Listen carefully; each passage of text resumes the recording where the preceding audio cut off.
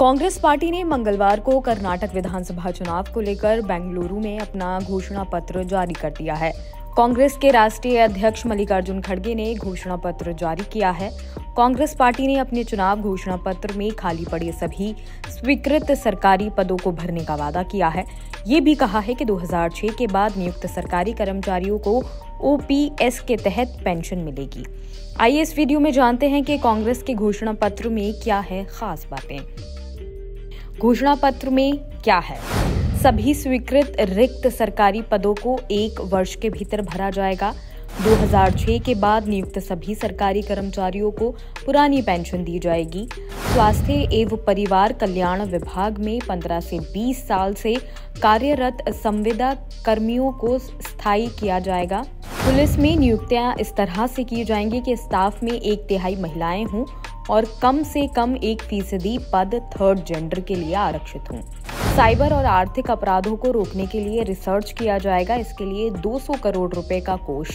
समाज में हिंसा फैलाने वाले समूहों के खिलाफ कड़ी कानूनी कार्रवाई होगी। चाहे वो बहुसंख्यक समुदाय, बजरंग दल, अल्पसंख्यक समुदाय या फिर पीएफआई जैसे समूह से ही क्यों ना हो। हर ग्राम पंचायत में high speed wifi hotspot 10 lakh से अधिक आबादी वाले शहरों तक टेंडर शेयर सड़कों का विस्तार किया जाएगा। प्रॉपर्टी ट्रांसफ़र को आसान बनाने के लिए कर्नाटक अपार्टमेंट ऑनरशिप एक्ट उन्नीस सौ बहत्तर में संशोधन। शून्य ब्याज पर 10 लाख रुपए तक के कृषि ऋण स्वीकृत किए जाएँगे। भाजपा शासन में राज्य में बनाए गए तीन कृषि कानूनों को वापस लिया जाएगा। नंदनी विवाद के बीच कांग्रेस ने मिशन शीर क्रांति के तहत राज्य में दूध उत्पादन बढ़ाकर एक दशमलव पाँच लाख लीटर करने का वादा किया है। वनवासियों की समस्याओं के समाधान के लिए वन अधिनियम में संशोधन लाना, कर्नाटक में कॉफ़ी का एक ब्रांड बनाना। गोबर तीन रुपए प्रति किलो की दर से खरीदना और ग्रामीण महिलाओं एवं युवाओं को शामिल कर गाँवों में कंपोस्ट खाद केंद्र स्थापित करना, महिलाओं को दो गाय या भैंस खरीदने के लिए ब्याज मुक्त ऋण।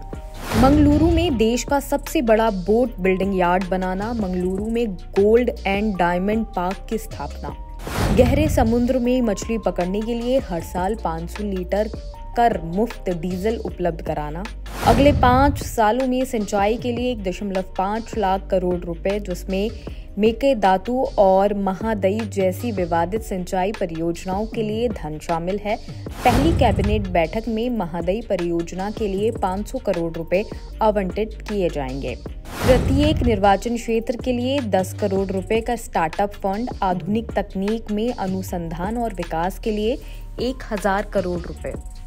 नोटबंदी और कोविड महामारी के कारण बंद प्रतिष्ठानों को दोबारा खोलने के लिए विशेष package.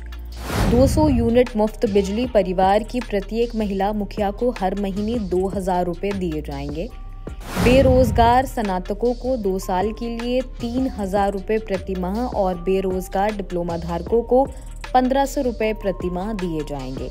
K S R T C, B M T C बसों में सभी महिलाओं के लिए यात्रा मुफ़्त की जाएगी।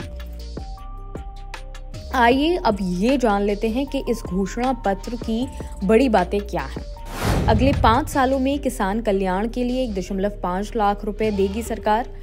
दूध पर बढ़ेगी सब्सिडी, पाँच रुपए से बढ़कर सात रुपए किया जाएगा। नारियल किसानों और अन्य के लिए सुनिश्चित की जाएगी एमएसपी।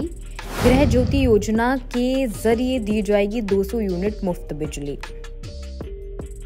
कांग्रेस अध्यक्ष मल्लिकार्जुन खड़गे ने घोषणा पत्र जारी करते हुए, मैं गारंटी देता हूँ कि सभी वादों को सरकार गठन के पहले दिन मंत्रिमंडल की पहली बैठक में लागू किया जाएगा।